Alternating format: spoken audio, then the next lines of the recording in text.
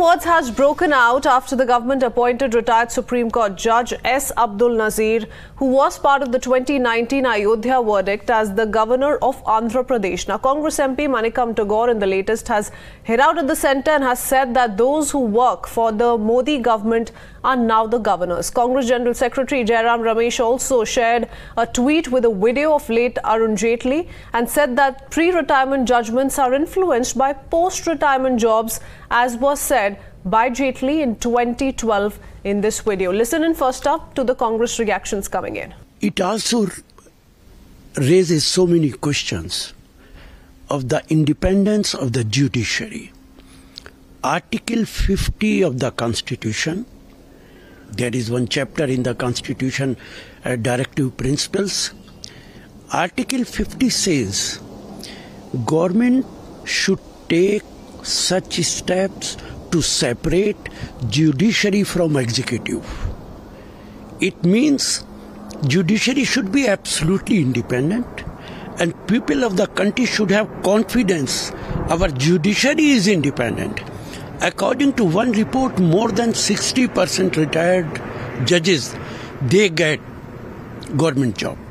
It is unfortunate. Samajwadi Party in the meanwhile has hit out at the Modi government has said that the government was making a bad precedent, setting a bad precedent by rewarding former judges who give favorable judgments in favor of the government. Supreme court के justice Nazeer ji को राज्यपाल बनने का जो तोहफा दिया गया है समाजवादी पार्टी ये पूछना चाहती है कि ऐसा तोहफा भविष्य में और कितने सुप्रीम कोर्ट के जजेस को बीजेपी आरएसएस की सरकार देने जा रही है। एक तरफ़ तो सुप्रीम कोर्ट को कंट्रोल करने में लॉ मिनिस्टर से लेके बीजेपी आरएसएस का जो हथकंडा है, वो टाइट हो रहा है, जिसके चलते सुप्रीम कोर्ट का जज सड़क पे आके प्रेस कॉन्फ्रेंस कर रहा है। और अब जो फेवरेबल सरकारों के जो जजमेंट हैं, उनको देने वालों को एक ऐसी नज़ीर पेश की जा रही है, जो भारत की डेमोक्रेसी की जो फ्यूचर है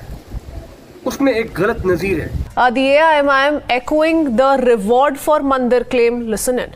इंसाफ जब किया जाता है तो उसमें अपना पराया ऊंच नीच छोटा बड़ा तेरा मेरा कुछ नहीं देखा जाता है उसमें जो सच होता है वो बोला जाता है जस्टिस नज़ीर साहब को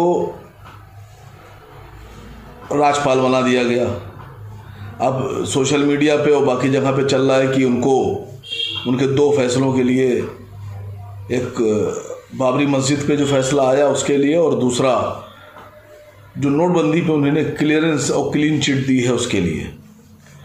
देखिए, देश में जस्टिस नज़ीर साहब से पहले कई जज पढ़े हैं, बहुत पढ़े हैं, अच्छे अच्छे जजेस पढ़े हैं।